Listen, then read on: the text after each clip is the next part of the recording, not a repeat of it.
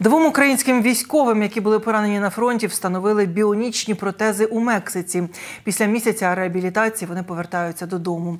Кінцівки виготовляють із використанням найсучасніших технологій за спеціальною програмою Аксолотль. Її організувало посольство України у Мексиці разом із тамтешніми медичними закладами та українською громадою.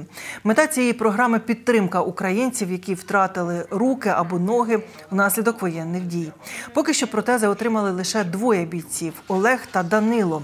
Але за словами міністра закордонних справ України Дмитра Кулеби, найближчим часом до Мексики мають вирушити і інші поранені.